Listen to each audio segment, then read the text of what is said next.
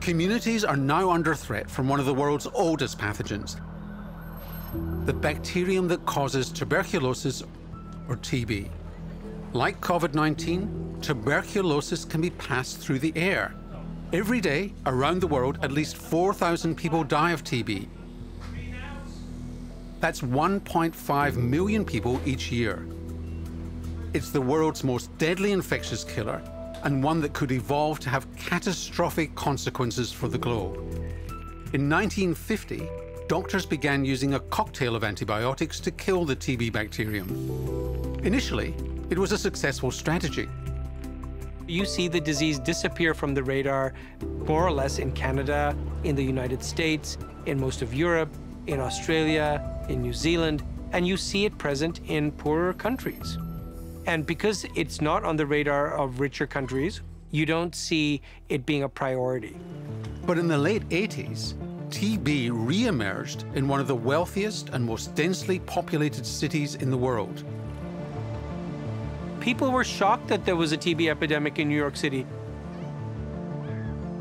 And it starts they notice an uptick in TB in children, and it grows. People said, oh, yeah, yeah, it'll fizzle away. And it didn't.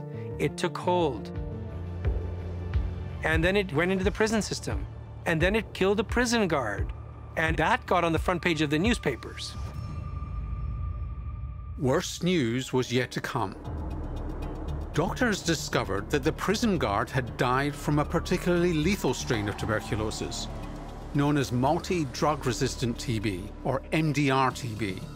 This disease is much harder to cure because it can't be treated with standard TB antibiotics. MDR-TB causes a form of chronic pneumonia often destroying lung tissue and producing cavities in the lungs, and also more serious and sudden events such as bleeding from the lungs.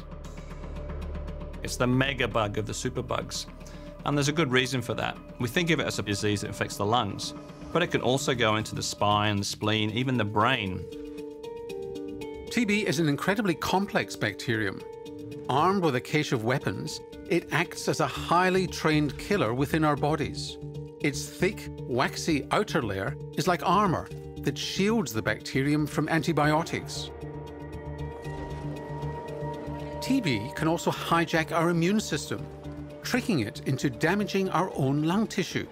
We then become TB spreading machines, helping the bacterium to find new hosts by coughing and spreading aerosols to others. If you can say that a bacterium is intelligent, it's a very intelligent bacterium.